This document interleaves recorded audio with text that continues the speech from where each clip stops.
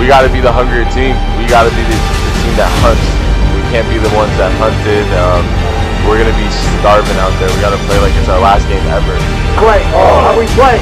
What's missing? Tonight we play defense.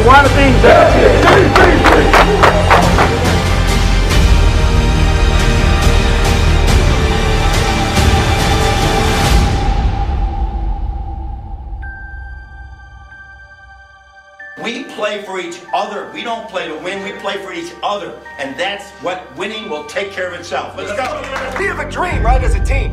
And it's about the fight that you have right now, one on one, that